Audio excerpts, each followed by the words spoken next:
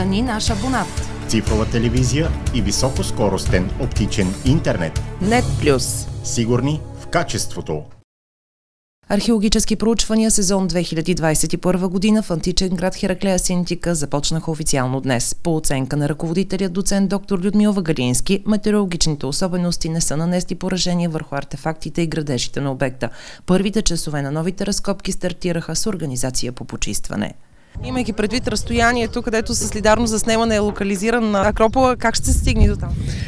Ами как пеша? Вече една група изпратихме горе на върха, които да подготвят терена, да, да почистят. А, ще работиме там, ще копаеме. Всъщност на две групи ще работиме. Много тесен контакт, разбира се. Заместника ми е горе с част от колегите и част от работниците. Другите продължаваме също на а, форума. Ще направим пътека. Ще наместиме нещата, коти, организацията. Днес имахме много писане, лични карти, документи, инструктажи. Винаги е така в началото. Но да чукна на дърво, за сега времето е с нас, е, хората са читави. Имаме още свободни места за работници, за изкочи.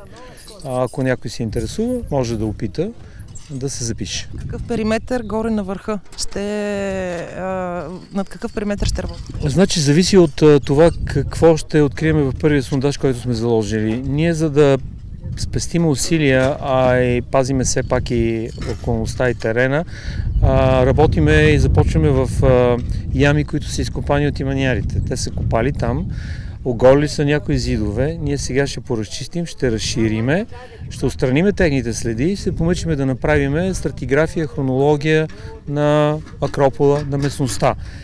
Като свършиме там, ще се предвижиме на друга техна поражение, които са направили. Те са активни хора опитайки се да извлечем максимална информация от това, която те вече са успели да разбъркат и да унищожат.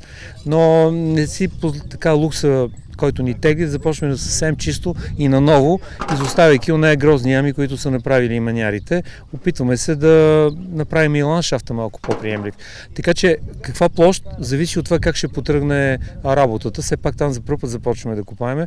До сега сме правили само изследвания с самолети, нали, с геоинформационни системи, издирвания, обходи, но без разкопки.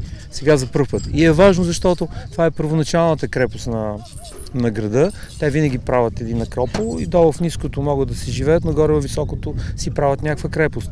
И се опитваме да разбереме, знаеме, че от самото начало има живот там според находките от 4 век преди Христа, но малко повече нещо, ако можем да а, извлечеме и да но да сме здрави. Археологическите проучвания се извършват със средства от държавата. Ще продължат 4 месеца и дано екипът на доцент Вагалински за пореден път се поздрави с нови открития и най-вече Акропола на античния полис. Стани наш абонат. Цифрова телевизия и високоскоростен оптичен интернет. Нет плюс. Сигурни в качеството.